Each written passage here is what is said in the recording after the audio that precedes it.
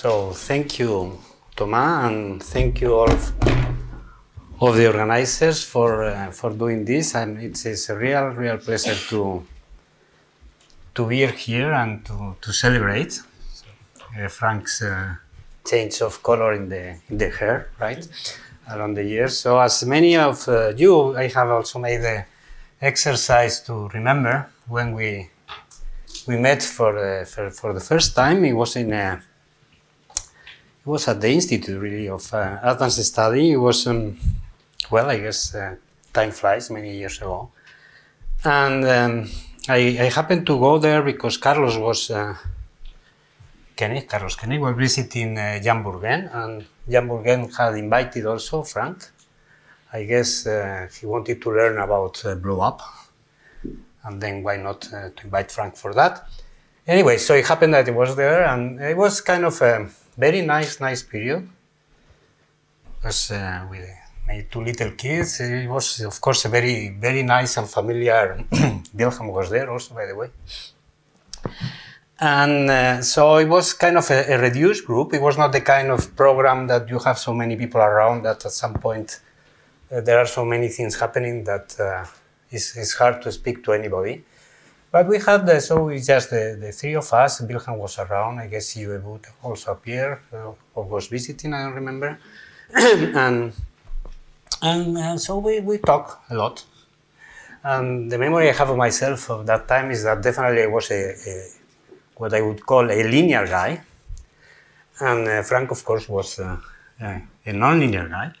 Uh, but anyway, we, we were managed uh, to talk. I don't know in what language because our English is kind of peculiar in our conversations. I always had the feeling that when Rebecca, his wife, listened to us, say, "Come on, what, what are these people saying?" But anyway, so um, so yeah, we talk a, a, lot, and I guess we are still talking, right, Frank? And uh, many years after, and so far so good. So. Anyway, I hope I move a little bit, not too much, from this uh, statement of being a linear guy. And uh, also, um, I have the opportunity, I mean, this was really a time of celebration, so you can use uh, big words or strong words.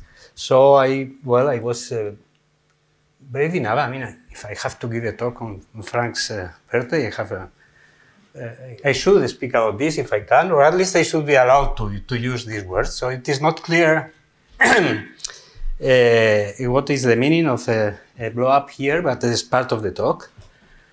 And of course, probably you, you will wonder how is it possible to put all these things together, blow up and, and 1D cubic NLS, but this is part of the talk.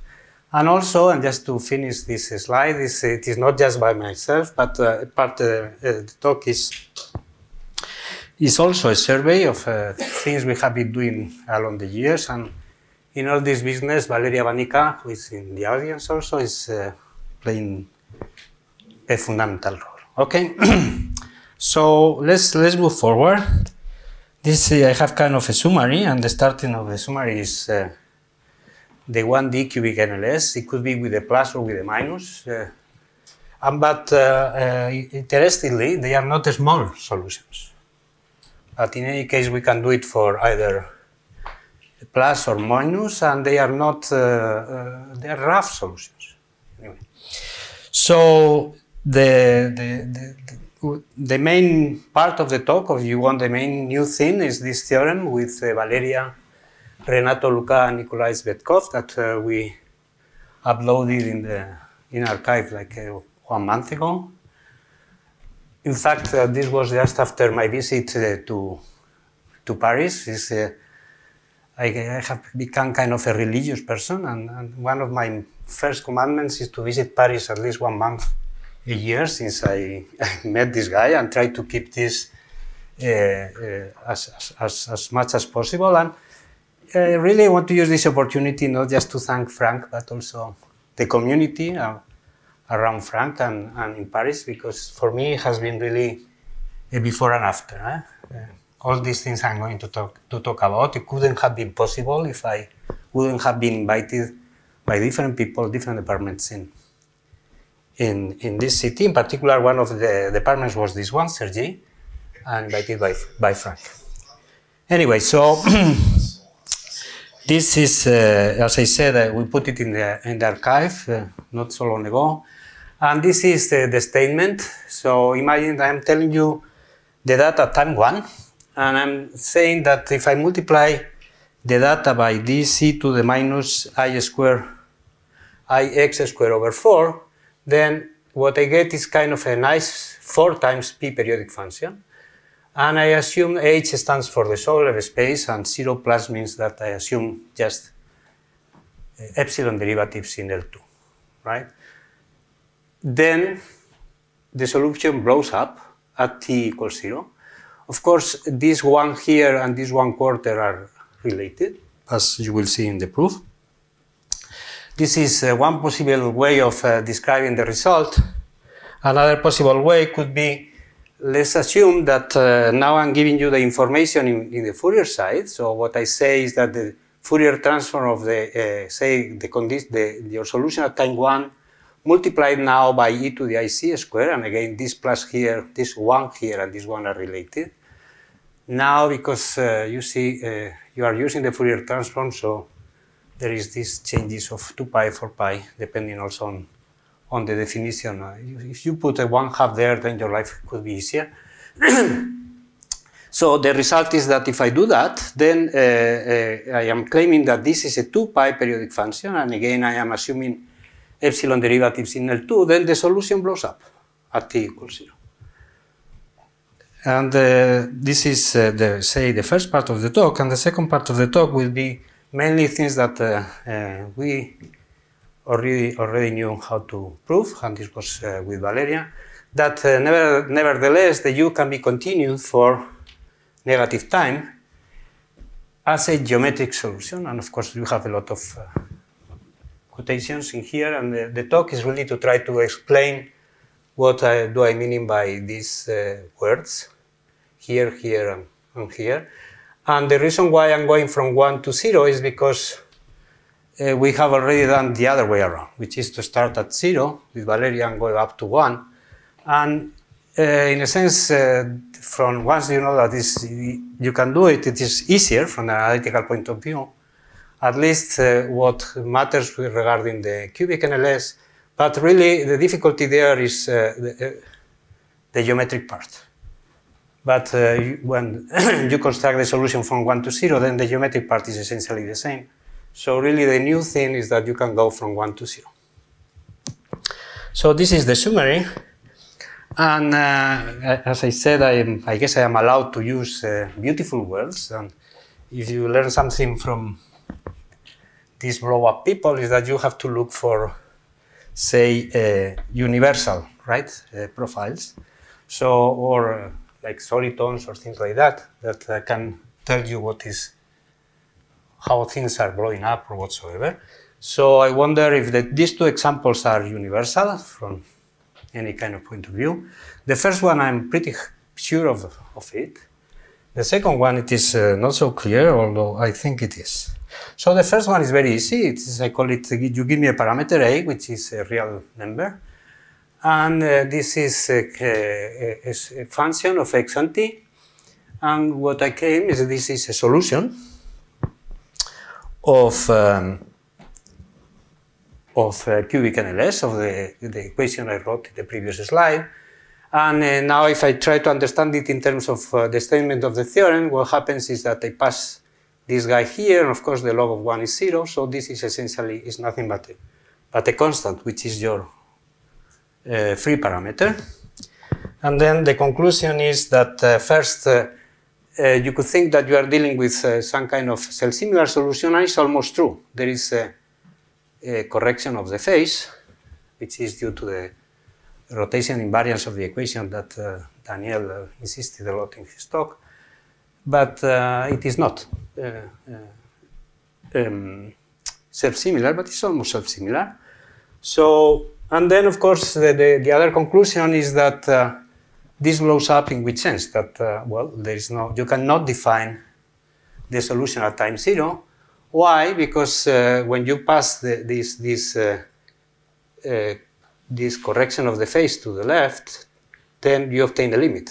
So because this has a limit and this has, does not have a limit, then uh, the, the solution cannot have a limit. So as simple as that. So if you want, this is my first notion that uh, uh, something is going on at, at, time zero.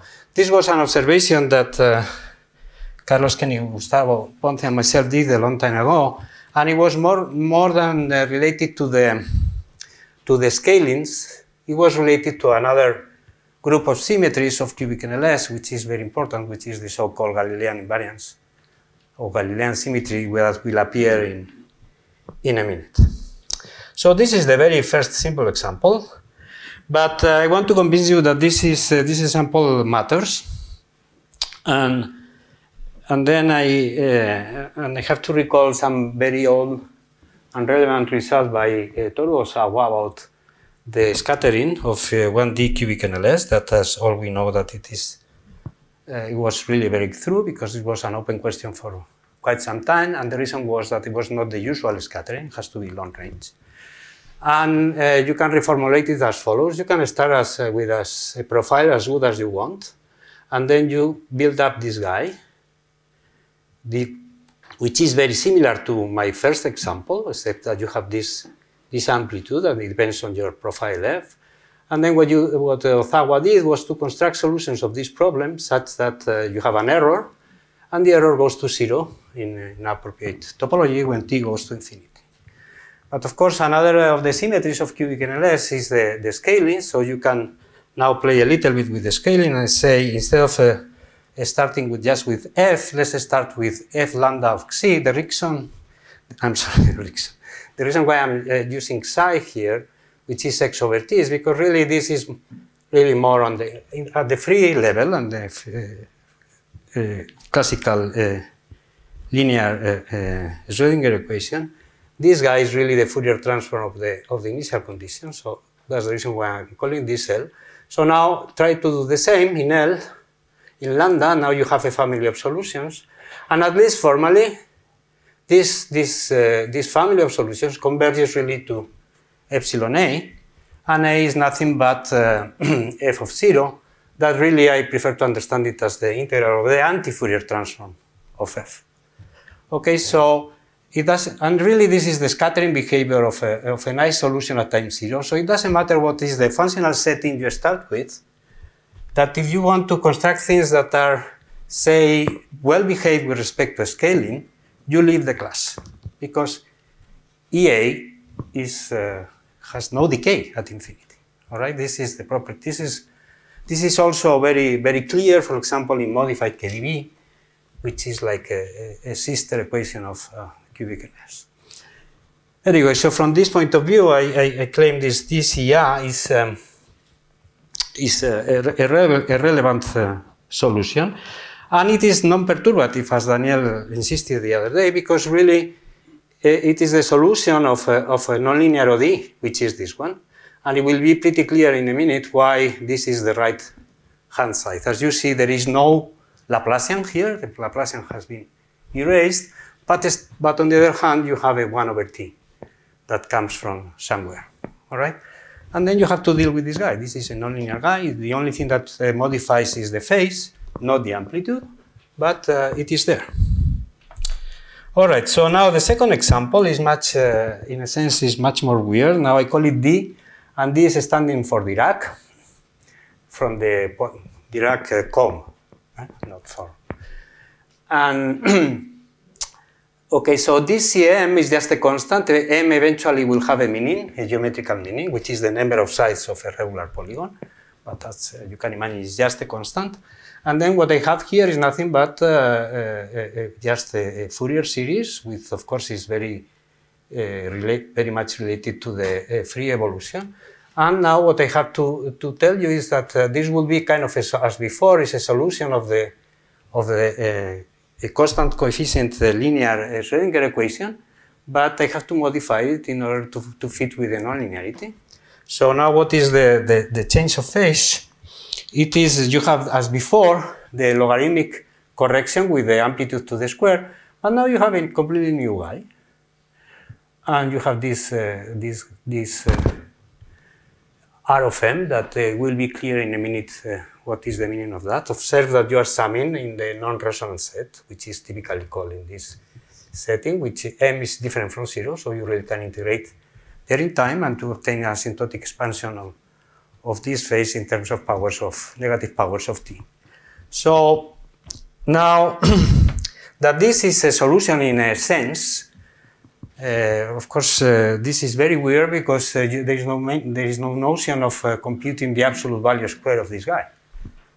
Uh, there is uh, no way of speaking about that, so you have to make meaning of what you mean by this solving the the cubic NLS.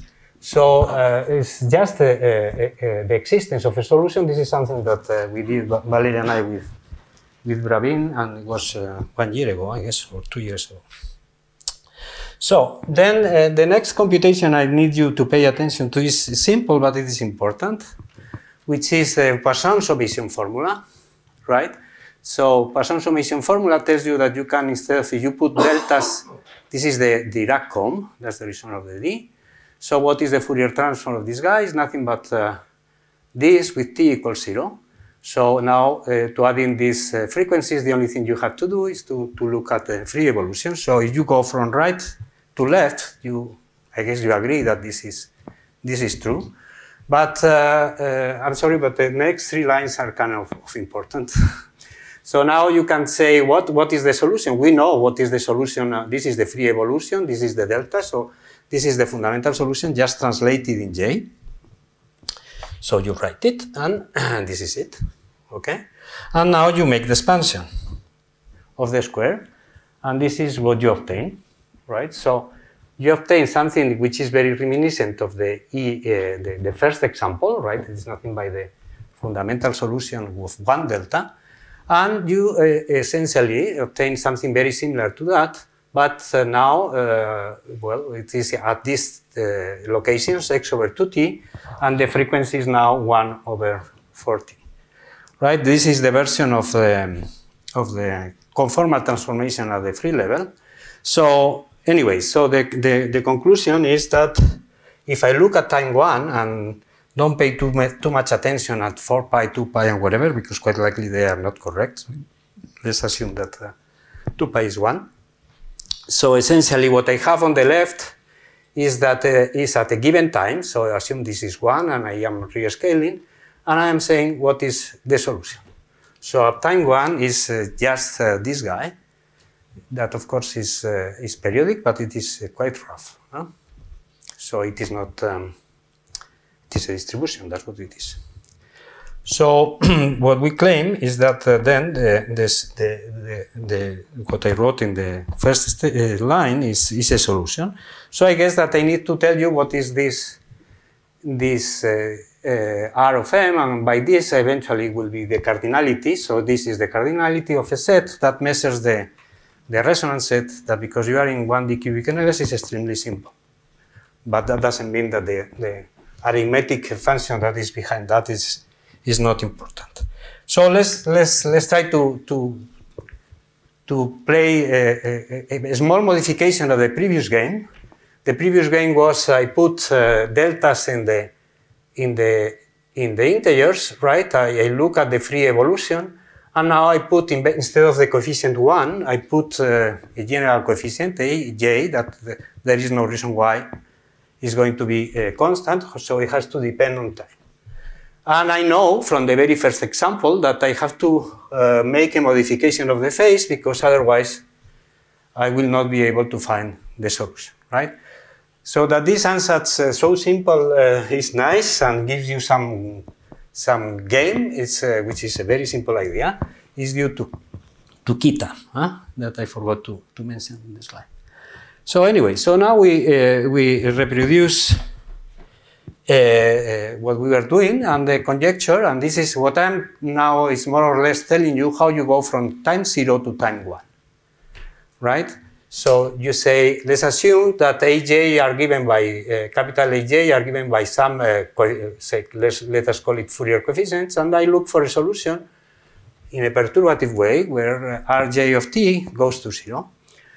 So, and uh, I know that uh, this should be the ansatz. Or this should be called, if you want, the right gauge. Anyway, so then, because of uh, pre precisely the previous computation I, I had done in the, uh, I mean, the, the computation I had done in the previous slide, it turns out that is, if U is your unknown, it's much better to look at uh, what is called the conformal transformation of the U that behaves, uh, essentially, this is the lens transformation that, uh, that Nicolas was uh, uh, using before, but when you don't have the harmonic oscillator, so it's something that happens at the free level. And now what is the equation? I, U is the solution of cubic NLS, and you wonder what is the equation for this new unknown V.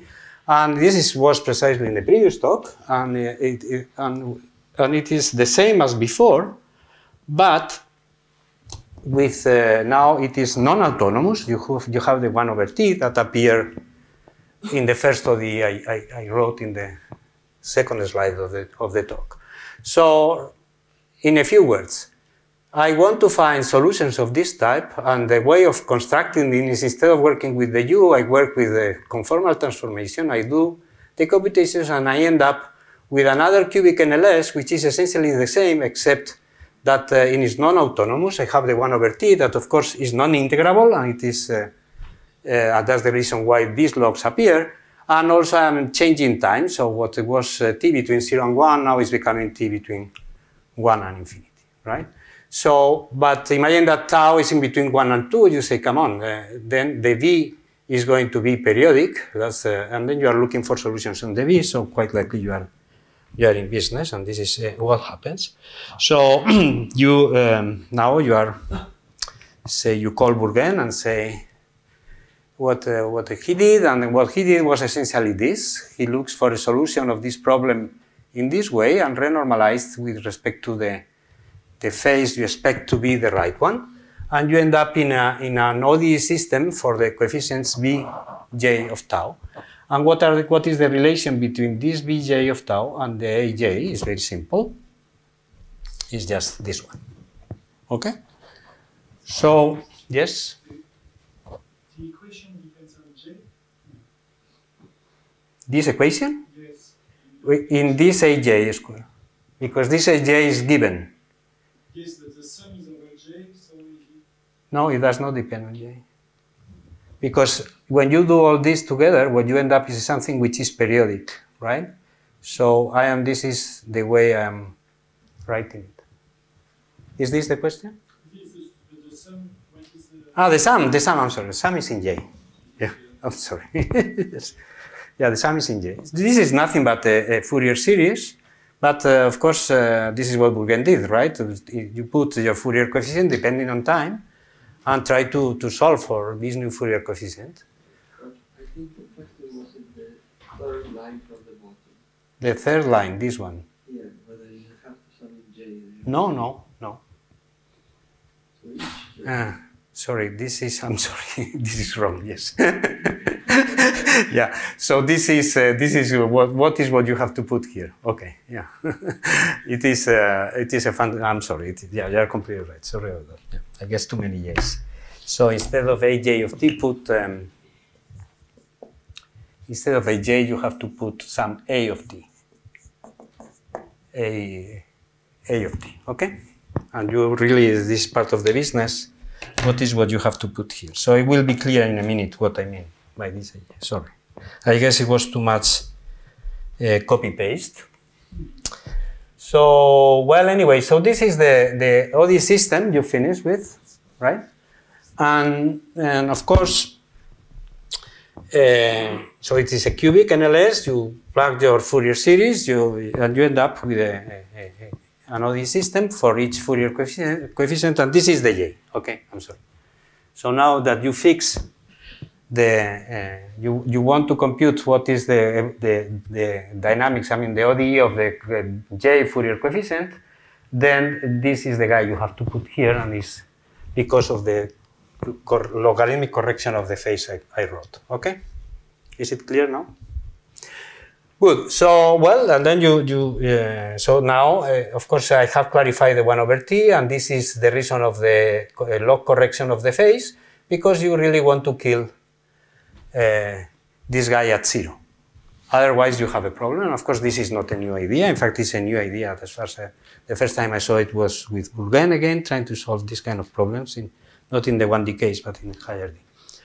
So then if, uh, because uh, you assume that Bj at, uh, uh, at time zero, yeah, time one in this, at time infinity in this case, is going to be aj squared, so this goes to zero at time infinity with a power rate that will allow you to integrate in, in time, all right? So this is it. So now, finally, what is the, uh, and, and of course these are the, the frequencies that appears because you have the log of t and you have the, the you have the bj here and you have the, the three other guys and then this comes with uh, this particular expression. And now what is the RM? The RM is uh, that, uh, uh, remember that I started with J1, J2, J3, so this M is uh, the difference, the corresponding difference of the squares, so you factorize, and this is the resonance set, which is, uh, has a very simple expression in, in the 1D case, but uh, it's better to write it this way. You, you have given an integer that is written as, in fact, it's an even integer. And now for all the uh, pairs that this thing happens, then uh, you, have, uh, you have to sum in this RM. So really, in the case, in the example two, the BJs are a constant, right? The BJs are a constant. And then what you count is just uh, the cardinality of this guy which is the, the number, essentially the number of divisors of m, which is an arithmetic simple function, but uh, that really the behavior, the, the, the, the behavior of m is, uh, is complex. So, then this is the second example. So the second example is in the pre, if I put all the bj's to be a constant, then uh, I can uh, reduce it to a finite system that the only thing I have to do is to, to, to do the corresponding integral in time of 1 over t of this series. That was the, the reason of this, this So the theorem we prove is first goes from, uh, the statement of the theorem, what says is that we go from 1 to 0, so I don't fix a priori the fj's, right? I don't know what, which these guys are. And secondly, that, uh, well, I assume that not all the Fourier coefficients are identically, Neither they are identically, there is only one, which is the first example, one, zero. Neither it is the second example, which are all the uh, Fourier coefficients are the same, equal to a constant, right? So I want to do something in between.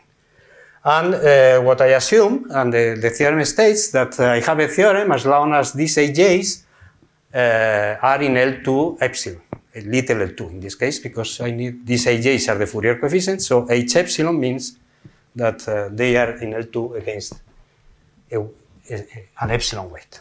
All right, so this is the statement of the theorem. So in, in this case, of course, the value at 1, it is precisely what I was saying. It is just the Fourier series that I renormalize with respect to the phase because it's much, much easier to give the dynamics of the Fourier coefficient when it is written in this, in this way.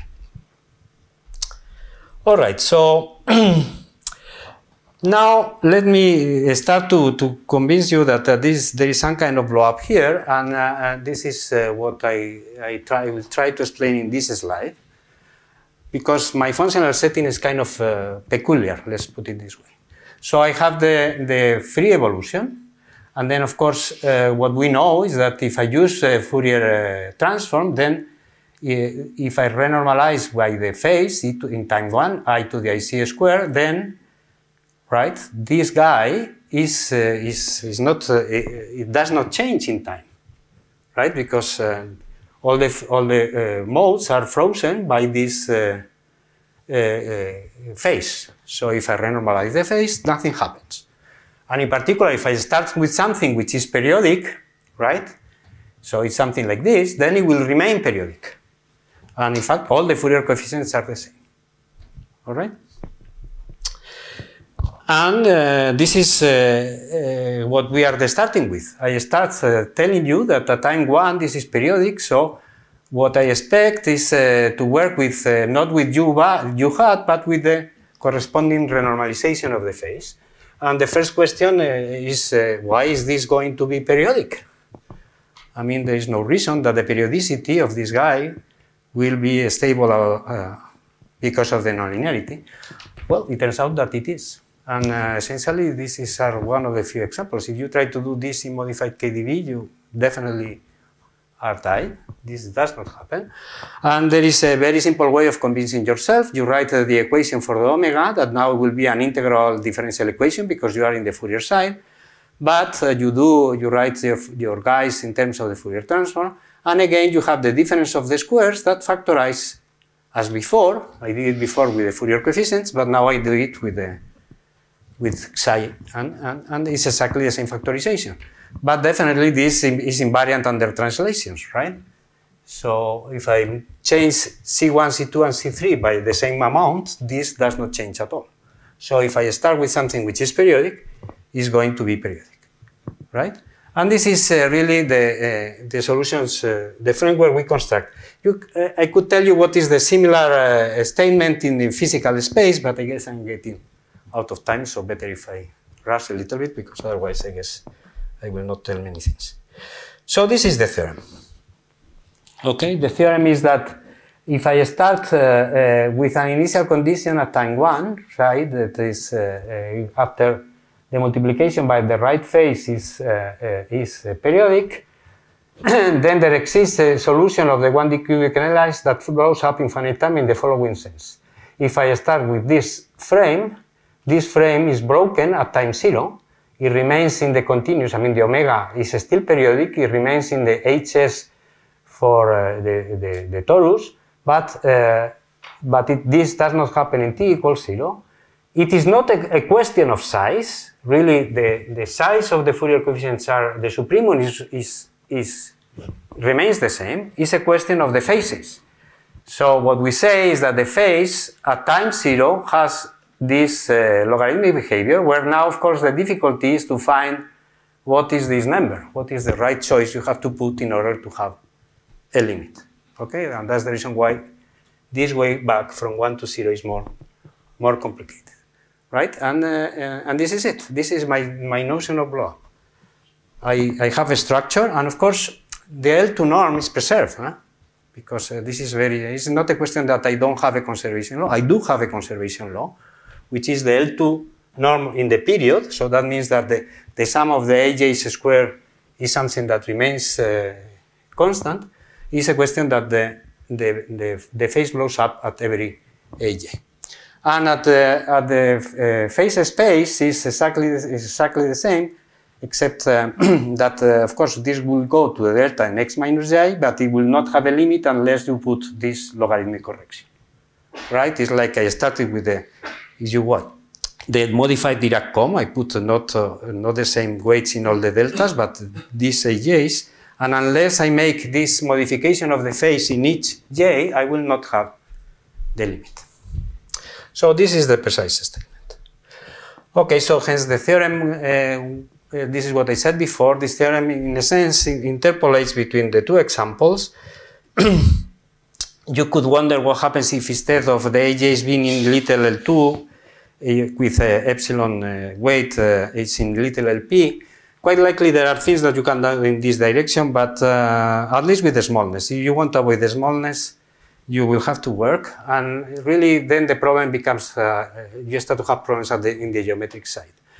And of course, the interesting thing what, is what happens when p equals plus infinity. Probably that is too much, but there is a, a scenario within this setting that uh, maybe could be affordable, but I will not speak about this.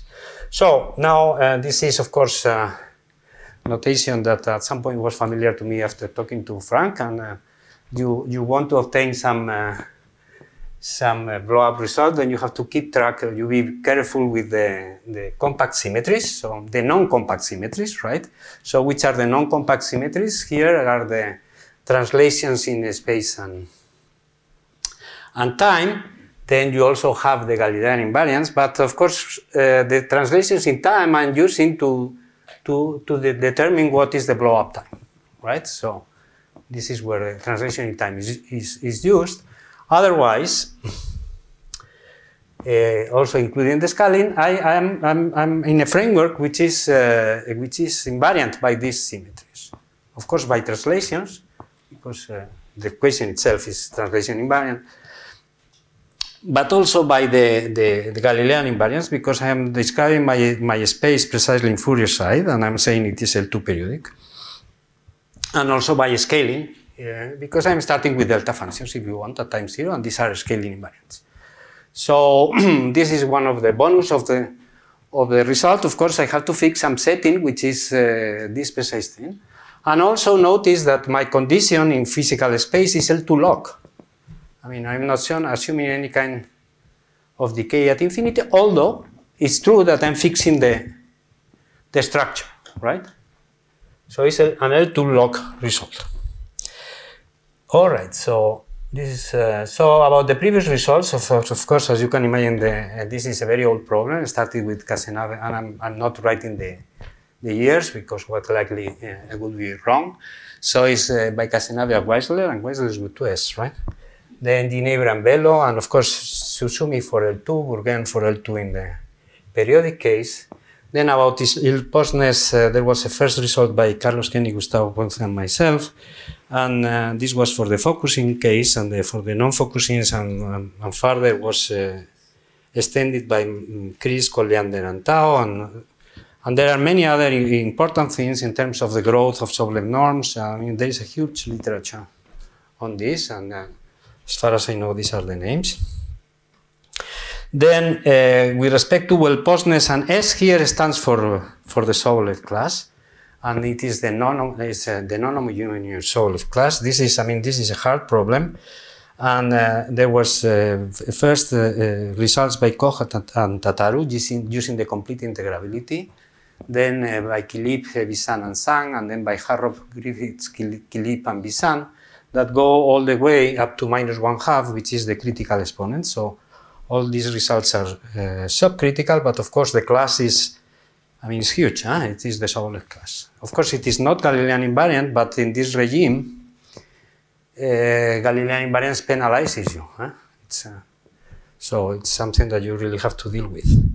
So, and then, but then there is another possible setting that is much closer to, to the Fourier analysis point of view, which is to assume that, uh, that the Fourier transform lives in some LP that uh, global in space, and of course this is translation invariant. And here the key guy is infinity. So if you want, the previous result can be said as a subspace of this L infinity hat, which is the way we typically call this space, of uh, where you can say that you have a well, global well-postness theory, or at least local. And then this was something that uh, started with Ana Vargas, and then Axel Grünrock really put it in this in this framework. And the final result, which is this one, was by Grunrock and Herr that also includes the periodic uh, case. Uh, the, at the critical level is essentially the, very much in the spirit of what I have told you so far, is uh, work with Valeria and, uh, and Bravin, and more recently, a thesis that he will defend in a few weeks, a student of, of Valeria, which is Gueguerin. Now, about the proof, I have essentially given you all the ingredients except that now I have to guess what is the the the the, the question that Thomas was asking. What is this guy? And of course, the lambda m is the same, the rm is, is the same. And now, uh, what is the first observation? The first observation is that first you try to understand what is the the, the dynamics of the action variables. I mean, how what can you say about the, about the amplitude? And it turns out that this is uh, really nice. So in fact, you can integrate, and this is of course the proof, uh, you can integrate this from 1 to infinity. Remember that tau changes the direction of time, so you're going from 1 to infinity. So this is your uh, dynamical system, and then what you can say is that that uh, the, the integral of the right-hand side is, is well defined at infinity, but of course it's not uh, absolutely convergent. So it's an oscillatory integral. And I think this happens also at the, at the Liouville, of the usual cubic NLS. And my impression is that we haven't paid too much attention to this fact because you see, is it, it's precisely in these oscillations, in how, so because this is integrable, I'm sorry, I, I need the, the next slide what you can say is that you have a limit, right? So at least you control the modulus of your uh, uh, the guy you are looking for. But once you have uh, this limit, then you do the, the, the previous trick and you subtract this part and then you uh, take the leading order, which is the ODE for each j, and then you renormalize and you see that this guy has a, has a limit. What I am saying is that uh, what I think it is very interesting in the dynamics is in which sense this limit is, is, is taken. I mean, what are the fluctuations? And these fluctuations see the, the, this arithmetic function. And this arithmetic function has some, say, stochastic properties which are not the usual ones. They are much closer to, to properties like uh, the one that are called, so this was the selection, this is what I was trying to say, that if, for example, you pick up this example and you try to analyze how are these fluctuations, really you have this typical intermittent phenomena that uh, I guess people say in weak turbulence like. All right, and uh, here, uh, I mean, you can measure things. I'm not saying uh, just uh, waving. Uh, this is not just hand waving. This is what I'm trying to say. So, which are the related systems? The related systems are the, the geometric flow of curves in 3D, which is this is the so-called binormal flow, and and the uh, LIA stands for localized induction approximation. And uh, then uh, the two examples would be that I, first, I start with a curve in 3D that has a corner at times at x equals zero. So this is the corner. So you have two vectors, unit vectors that are not the same, and uh, you have uh, this line on the left, on the right, and this line on the left. This is one of the uh, of the systems. The, uh, the second example, which is when all the coefficients are the same, if you make the right choice of the CM I was mentioning before, and this is a delicate issue, then what you construct are regular polygons. So you are looking at the evolution of this geometric equation for starting with a regular polygon, and I will show you a, a video in a minute. And that, uh, that you can expect to have a solution for this, guys, is something really not, is something that I would have never expected. But fortunately enough, Valeria called our attention, and we here is uh, De La Hoz, our attention of a paper by Gerard and Smets, where they do, I mean, they have theorems, but they do in particular this uh, numerical simulation of the evolution of, uh, uh, of a curve, which is given by a square of a triangle uh, numerically, and, and then you start to believe that you can do math with that.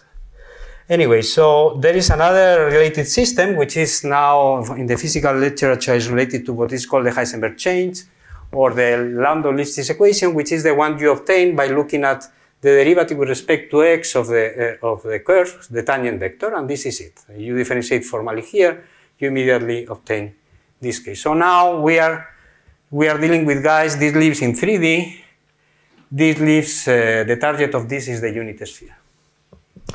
So I am speaking about systems, and the connection is a very old uh, and beautiful idea by Hashimoto that uh, if you uh, take the evolution of, uh, of, the tangent vector and you use, for example, you can just use the Frenet frame or the parallel frame, and uh, you call alpha and beta your, your curvatures, you say your geometric quantities, then you build up a complex uh, function that amazingly solves this, this cubic NLS but with the freedom of gauge.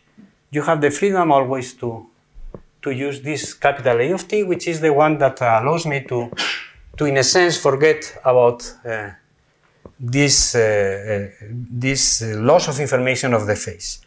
All right, so this, uh, this is what I'm trying to say, that the geometric structures implies that the singularities of U are, are harmless and the solution can be continued as a geometric object. But uh, of course, uh, life is not that easy. In fact, there are part of the geometric object that uh, does not uh, survive, which is precisely the frame of the normal vector. And, and this, uh, you have to, there is a blow up. But again, here you use modulation. How, how are the beautiful words? Modulation here. And, and then you will be able to, to do your business. Why? Because you, are, you identify the, the asymptotic profile, which is given by uh, a self-similar solution. And now I need to say a few words about the self-similar solution because this is the, the uh, one of the key objects. So the self-similar solution with respect to scaling uh, will be written in this way. And what it is kind of interesting, something that honestly I don't know why, but this is what happens, is that the simplest way of understanding this, uh, uh, this nonlinear profile is by looking at the Fourier transform. And you have to do a nonlinear change of variable that of course is reminiscent of this e to the itc square I, I am modifying all the time. So when you do, uh, and, uh, and, this is because uh, eventually you are going to deal with the derivative of the tangent, but this is the key guy. I mean, you compute the Fourier transform and you do a nonlinear change of variable, and this is your good unknown, and then you identify what is the, the, the singularity. Is this ODE, which is a singular regular equation, very simple, so you have really linearized the problem. Of course, you have also linearized the problem through the Frenet frame, but this is this is the guy. And this is something in particular with the Laoth. And now your uh, object, which is this is the important object, which is the derivative of the tangent vector. The Fourier transform is nothing but uh, uh, this, uh, uh, say, uh, the solution of this equation evaluated here. In particular, what happens, and this is not easy, this is where the difficulty comes, that the information you have is uh, one part, I mean, because eventually you, in order to continue the solution geometrically, you have to find the information you lose in the phase from somewhere.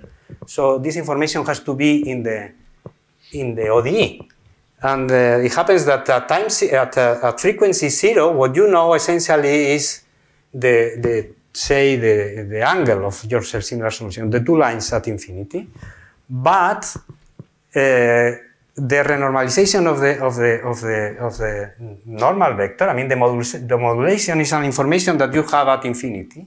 So you have to, to solve the matching problem, right? Which is, you have, say, information at zero, and I have to tell you precisely what happens at plus infinity. And as you know, this happens uh, with very few equations, and in, and in part of the literature, this is like a hint that you are dealing with a completely integrable system, that in fact it is the case, because the, the cubic NLS is a completely integrable system. But the conclusion of all this is that the Fourier transform, some, for some reason, is, is playing a role. So this is the, uh, the dynamics I was saying. So, well, this, is, this was done by uh, Gerard and Smets, and it was nothing too complicated. He, he, they used a scheme of, um, of Buttke, which was a very old scheme, and it's in fact uh, just finite differences.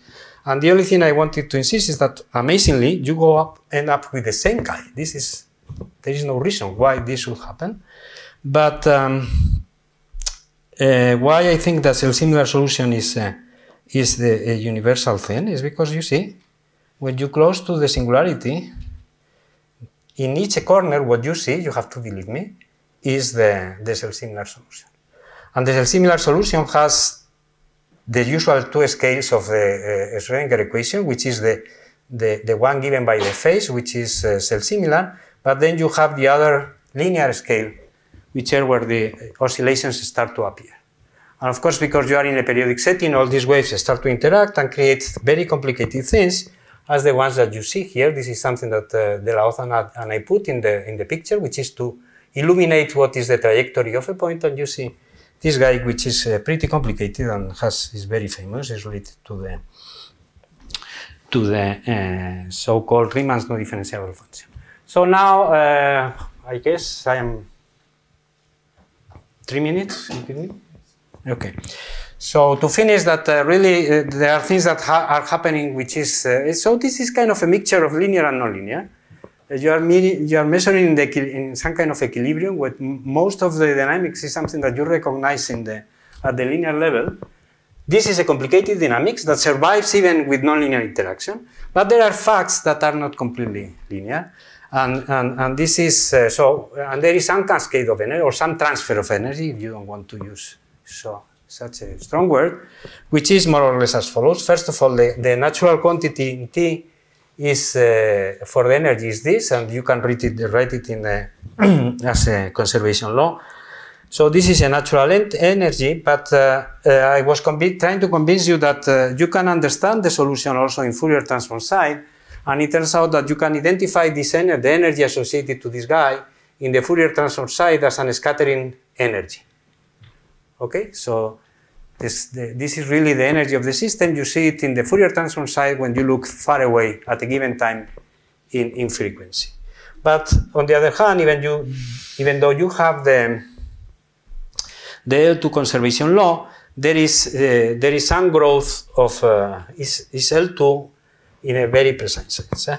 So I don't have the time to explain, but anyway, so what happens is really the Fourier modes, even if I start with a very nice, as I, I said, I said the, the function uh, v can be very nice, the, the periodic function, so it can be h infinity, so it is not a question that it is not bounding at time 1. However, when you look at the Fourier transform and you go to t going to 0, the, the Fourier transform uh, blows up, and this is some kind of, uh, say, transfer of energy, which is complementary to the well-knowns of uh, the I-team and and, and Hani Pausader, Tzvetkov, and Visciglia. So let me finish just with a, few, a simple idea of the proof, because the proof is mainly written in, in, in the, in the Fourier, and with this I finish, okay? So it is, um, it is written in the Fourier side, and of course here I am going to, to not, not being precise, but at least to try to convince you where the re new resonance comes from, right? Because it's a mixture of a non-local guy with a local guy.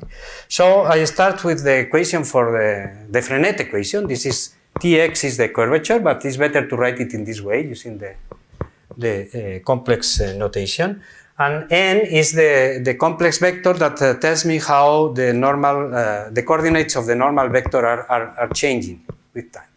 And uh, of course, this is uh, symplectic because I mean, it has to, you have to construct an orthonormal frame. So then remember that u is essentially this guy times a nice function because it is periodic, but it is nice. I mean, it can be as regular. In fact, I have started with just two, two Fourier modes, negative one and one. And it's very simple. It's, uh, well, now we know how to do it in a quite straightforward way to say that t goes to, uh, to two given vectors which are really uh, frozen. Okay? So then I can, um, so uh, then I, I, have to understand, so imagine that you want to understand uh, how is n. What you are saying is that the derivative behaves as, a, as essentially at infinity, because the problem is to make this integral finite at infinity, is a, a given constant times a very well-known guy. So you are going to integrate by parts, right? And this is the role of the different scales in, in, in, in, the, uh, in the uh, Schrodinger equation that when you integrate by parts, even though you have here the, the parabolic uh, scaling, when you integrate by parts, you start with, you end up with the hyperbolic scale. And this is your basic integration by parts, right? So you are going to obtain good powers of t. Here now t is in between 0 and 1, so I am in physical space. And, uh, but you have to pay with the distance of x, say, to one of uh, your Fourier modes. So imagine r is going to be 1 or negative 1. So then you are going to plug this into here, right? So this is what I'm saying. n is going to be essentially uh, this guy times uh, um, what happens close to 0. this is part of the hand waving, say. But at least it's pretty clear that after integration by parts, you are, this is what you are going to obtain, and it is not so, so simple to say why I can now free, freeze the, the time in zero, right? But now if I take this in the upper equation, and I wrote what is the, the, the u, then immediately I see that I have created new, new modes, which comes from the difference, the differences of the phases, right? So the new modes are just the differences. So if I only have two modes, then I only will have a new, a new mode, which is the difference, but it comes with a very precise frequency, which is 1 over t, right? So the, the Fourier transform in this value, x over 2t, will be as big as this. And of course, x minus r, now uh, this is a key point, that because you have more than one Fourier mode, you lose the symmetry from one from left to right, and then even though this was true for, say, uh, in absolute value even, then so that uh, if you integrate, you are going to, to have the principal value, because you have two corners, then really you have this guy in this region. And when you compute the Fourier coefficient, which is precisely this guy, it will cancel this, cancel, uh, this phase, and you have to integrate 1 over x, which gives you a log. All right? So this is the picture, and with this I finished. So you, I have the two corners, then because of the uh, self-similar solution, I know that nothing happens in the self-similar region, square root of t.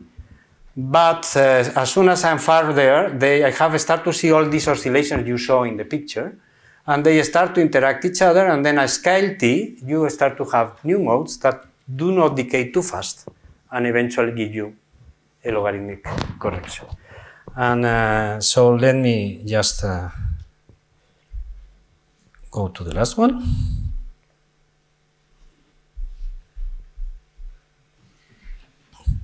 Okay, it's clear what is there, right? So that's all, huh?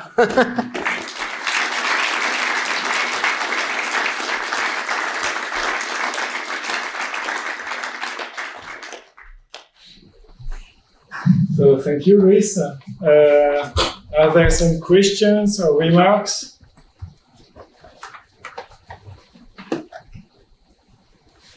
So you started with regular polygon, but if you have uh, Well, uh, that's uh, we have no idea. We even with a regular polygon, what the only thing we have is the candidate to the solution. So the example two is just we say this is a solution in a in a very say very weak way. And then uh, what we know is that this candidate, when I put it in the computer and I look at the polygons that happens at rational times, fit with the evolution but we don't even know how to construct the curve for irrational times. So this is, I mean, this is, we are working on that, but this is, I mean, because all these Fourier series, I mean, it's, mu- it's much harder than to deal with the Riemann's function. Riemann's function at the end is uh, absolutely integrable, and all this Talbot effect, I mean, there are very, there's quite uh, a few experts here on this Talbot effect. This, uh, it took quite a long time to understand uh, Riemann's function and uh, and uh, and so now it's understood. But the the guy we have to deal with for constructing the, the, the curve for irrational times, it has one less derivative. So the Riemann's function is one over j square, and the one you have to deal is one over j. So it's, it's much more delicate, and of course you have to to solve Frenet frame for that. So this is very much in the rough, uh, very rough uh, path things. But here you, you have a very good description in terms of Fourier series of what it is your uh, your uh, curvature and torsion. So then your question is now what happens if I have a say something like this? Right? Uh, we of course you can do numerical experiments and then you see that essentially you can superpose. This is the reason why I think that the regular polygons are kind of universal because it's like you have two different periods. One is this, and the other one is this one. So you will generate like uh, one for one period, the another solution for the other period, and then you have to look at the interaction, like if you would have two two solitons, right? So this quite likely could, can be doable, but um, but not yet. Other questions? There's one comment and one question. Uh, the comment is about the solution EA. When you look at it in self-similar variable, it's a periodic solution. Uh, what do you mean by the self-similar variables? Uh, I don't know. You replace uh, x by x over square root of t and Uh, well, it is not periodic. It's e, it's e to the i x square. It is not periodic. This is the point that, uh, say, the kind of strange behavior that is happening is that you are making. the initial data. But if you, if you look at the time also, they will have a EIS x square and this solution. So Which in are S, in S Is periodic time periodic. the similar solution? Uh, I don't know. I would say no. But Okay. no, it's because you have the time also. Okay, so we will explain later because I don't think I am understanding you. yeah. And uh, a second question, sorry for this stupid question, but what happens in higher dimension? Because it seems that Uh, I would say, I, I, guess that uh, maybe Daniel is uh, uh, agree with this. This is uh, the difficulty here is, is one dimension. If you look at, uh, of course, what happens in higher dimensions, you can. I'm not saying that the higher dimensions are easier. I mean, the Schrödinger mappams. These people know in 2D was was really a, a tour de force. But uh, I'm speaking about something which is critical, and and also about some, uh, and to understand this long range scattering. And uh, as far as I know, this is a basic question that we don't understand yet. We don't have a good threshold uh, theorem of when you have a scattering and when you don't have. For example, all these solutions uh, are huge. So they are not small, and in a sense, all the behavior is the one of the long range scattering. And this is because I am using the conformal transformation that kills the solitons, of course. But uh, the, for me, this is not clarified at all. So definitely higher D is very interesting, but I mean, I have enough job here. Huh? Many things to do here. So, yeah. Okay, uh, no more questions. Thank you again.